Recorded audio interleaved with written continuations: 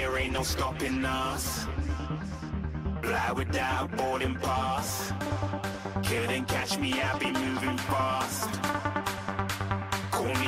역대급 크기를 가진 센터 디스플레이로 관심을 끌어왔던 메르세데스 벤츠가 더는 확대가 불가능한 초대형 MBUX Hyperscreen을 공개했다.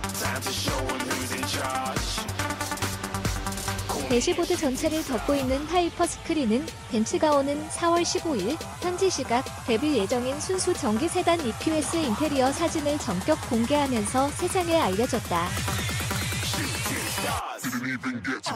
인테리어 사진에서 가장 놀라운 것은 대시보드 전체를 대형 디스플레이가 덮고 있는 모습이다.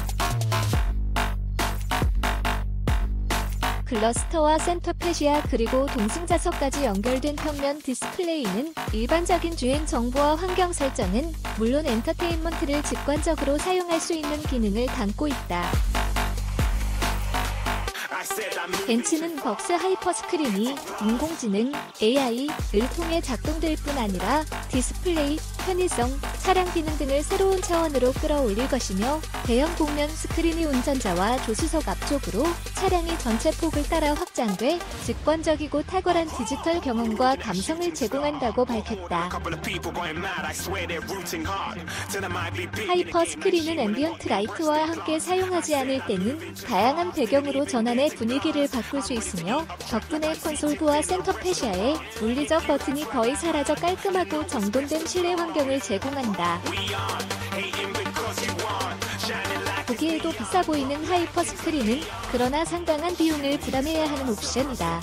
벤츠는 Hyperscreen에 부담을 갖는다면 일반적인 모델에 적용되는 것과 크게 다르지 않은 구성을 선택할 수 있다라고 말했으며 EQS Hyperscreen에 어떤 기능이 담기고 작동할지보다 자세한 내용은 추후 공개할 예정이다.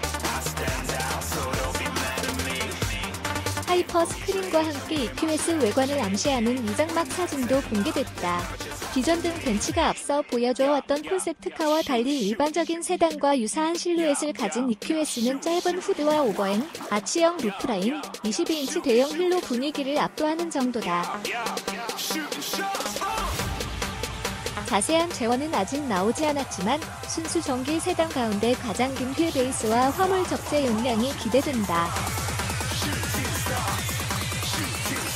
한편 벤츠 관계자는 EQS는 미래 지향적인 외관과 메가 스크린 인테리어 이외에도 다양한 사운드를 즐길 수 있다라며 벤츠 팀이 만들어낸 가상 사운드로 내연기관 배기음과 다르지 않게 일상적인 운전과 스포티한 운전에 필요한 사운드를 즐길 수 있을 것이라고 말했다.